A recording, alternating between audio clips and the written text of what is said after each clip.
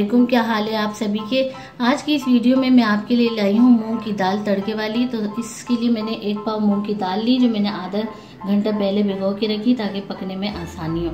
दो अदद मैंने टमाटर कट किए बारीक, एक अदद मैंने प्याज चॉप किया है, तीन अदद मैंने हरी मिर्चें बारीक कट किए हैं और ये थोड़ी सी प्याज मैंने इस तरह कट की है बघार लगाने के लिए।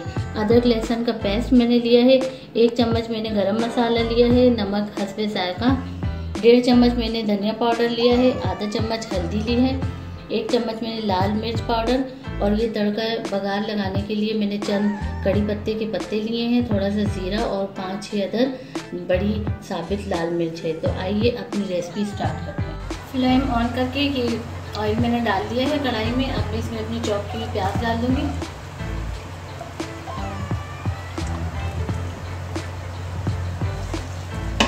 प्याज को हम थोड़ा सा ना फ्राई करेंगे, थोड़ा सा हल्का लाइट ब्राउन करेंगे। प्याज हमारी थोड़ी ब्राउन हो चुकी है, अब हम डालेंगे इसमें अदरक लहसुन का पेस्ट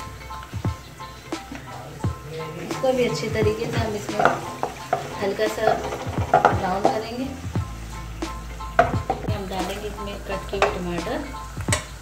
इनको अच्छे तरीके से मिक्स करेंगे। और फिर हम डालेंगे अपने तमाम पाउडर मसाले, नमक समेत। सिर्फ़ हम गरम मसाला छोड़ देंगे, बाकी तमाम पाउडर मसाले इसमें डाल देंगे।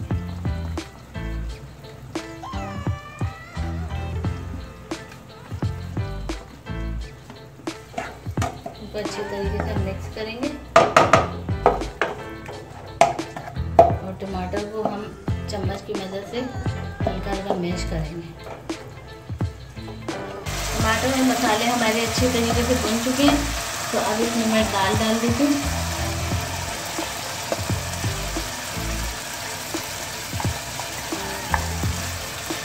और ऊपर हम इसमें डालेंगे तकरीबन दो गिलास पानी।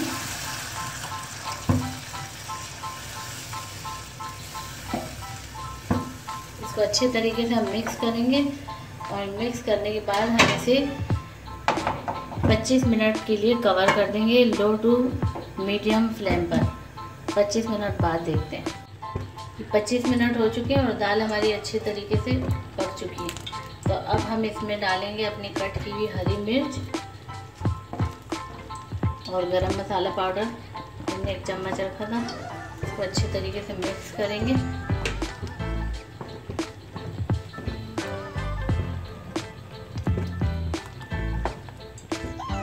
फ्लेम हम ऑफ़ कर देंगे और इसको दो मिनट के लिए कवर कर देंगे क्योंकि हम तड़का बना रहे हैं तो जब तक गरम मसाले का जो जायका है, वो इसमें रच बस जाएगा। तो दूसरी साइड मैंने ऑयल गरम कर दिया है और अब इसमें मैं कट की हुई जो मैंने बारीक प्याज रखी थी, वो मैं डाल दूँगी।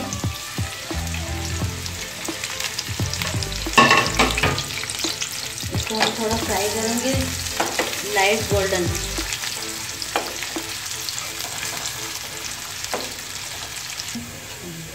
प्याज देखें मेरे थोड़े से गोल्डन ब्राउन हो चुके हैं तो अब मैं इसमें कड़ी पत्ता के जो पत्ते हैं उसको मैं कट करके डालूँगी ताकि इसका टेस्ट अच्छा है। और ये मैं तीनों चीज़ें इसमें डाल दूँगी।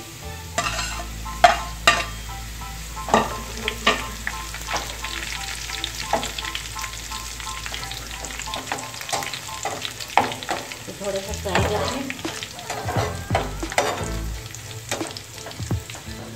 तड़का हमारा बिल्कुल रेडी हो गया। अब हम फ्लेम ऑफ़ करके ऐसे अपनी दाल में डालें। एक मिनट के लिए कवर करेंगे। अब हम इसे डिश आउट करते हैं। तो ये हमारी मूंग की तड़के वाली दाल बिल्कुल रेडी हो चुकी है। अगर आपको पसंद आए तो आप इसे लाइक करें शेयर करें और हमारे चैनल को सब्सक्राइब करें। तो मिलते हैं नेक्स्ट वीडियो में, तब तक के लिए अल्लाह हाफिज़।